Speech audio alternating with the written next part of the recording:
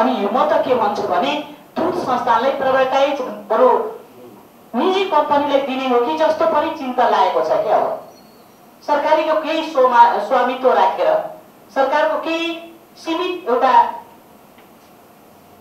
ऊ राखेर सहमति बनाएर अब त्यतातिर जाने हो कि? अनि मात्रै दीर्घकालीन समस्या हल हुन्छ भने त्यतातिर पनि अब मलाई चिन्ता त्यतातिर सोच्दैछु म। हिसाबले छलफल चलिरहेको छ छलफल मैले चलाइसकेको छु।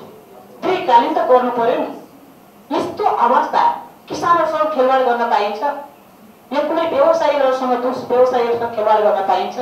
त्यत्रो मिहिनेत गर्नेलाई त प्रोत्साहन दिनुपर्ने ठाउँमा आज निरुत्साहित किन भइरहेको छ?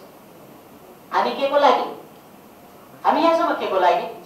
जब हामीले कमान्ड कन्ट्रोल गर्न आउँदैन भने छोडिदिए हुन्छ नि। जब गर्न सक्दैन भने सिलिन्डर बोले पनि हुन्छ क्या।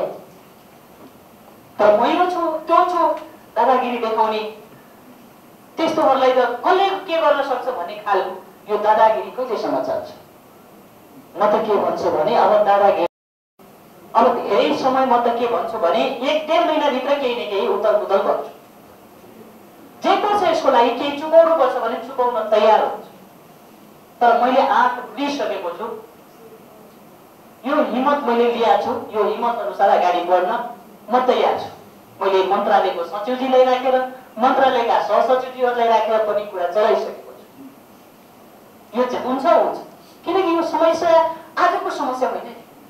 यो हिजो धेरै विगतदेखि समस्या तुपारेको अवस्था छ।